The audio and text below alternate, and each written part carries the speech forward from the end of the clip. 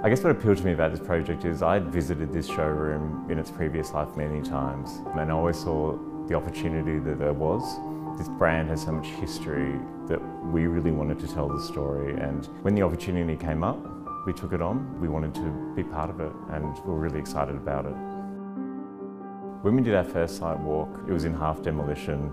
There was appliances lying around, clear ceiling, clear floor. We really could do what we wanted. When you walked into the showroom, we wanted people to feel like they were in another world, in another place. So the piece of stone that you see on the reception counter, it's connecting to those landscapes and those beautiful lines that we saw in the hills, in the mountains that you see in Europe.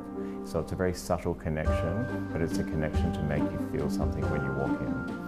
When we looked at the demonstration kitchen and how that would function and what ASKO would need from it, it was a variety of things.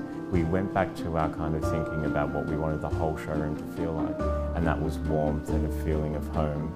We connected, I guess, how we design kitchens in your own home. That's what these products are going to be used for, and we really wanted to connect to that. So when people go into the demonstration kitchen, they feel like they're entering your own part of your own home, um, to have that warmth and people to gather around a single island bench. We designed the showroom to have three sections. Each section had a different purpose and to connect these we really looked at the joinery so that material runs right through each space. I think the, the heart of the ASKO showroom is really this area that I'm sitting in now, which is that kind of living space. It's a space where you can sit down, they can talk about ASKO, they can teach about ASKO. It's not just about standing at the product, it's about sitting in this area. And we even looked at how um, hospitality and everything from Scandinavia and we spoke about fika and the tradition of coffee serving with sweets and how that could form part of the story.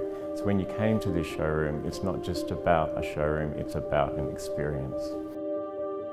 When we first came to the old showroom, there was this beautiful green old washing machine sitting in the corner it really probably started the design thinking about how this whole space would come forward. So we had ASKO scout around um, Australia. Also, we, we looked to them to go to Europe to find what pieces that we could really form part of this story, form part of this design idea that we had for this showroom. It added that extra layer of history. To create warmth, it's about light. It's about artificial light. It's about natural light. We had the benefit here of beautiful windows all around this showroom, so we looked at sheer curtains, beautiful S-fold curtain which covered every external wall.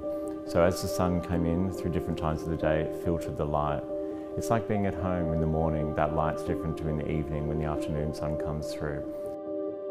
I really enjoyed uh, looking at ASKO's history and how that informed this showroom, which I guess meant this Scandinavian lounge. It's the heart of this project. The appliances are beautiful, the appliance technology is amazing, but really the essence of this showroom is about ASKO's feeling and having that sense of Scandinavian history, warmth, um, people coming together. The appliances form part of your home and that's what we really found most enjoyable about forming this space. We're really proud of hearing the feedback um, of when people come and visit the space they're taken back. It's something different, it's something unique, and that was always what we wanted to do. We wanted people to walk in here and be surprised, to learn about ASKO, to learn about the product, to learn about the history, all of these layers, but most importantly, wanted them to have a sense of feeling of, of, of surprise.